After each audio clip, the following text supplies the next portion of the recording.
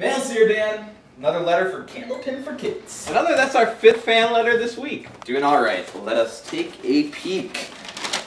Dear Candlepin for Kids slash Barack Obama, blah blah blah. With regret that we inform you that we are invading your country, blah blah blah. You're under attack. We're stealing your trophy. Power of hockey. Bruins suck. Blah blah blah. Thank you for your hospitality and coming in about two weeks, Canada. Another threat letter.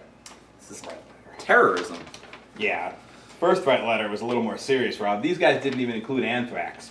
And Canada. Canada for a return address. How do we even know this is really from Canada? To the lab! What's this going to tell us, Doc? Let's find out.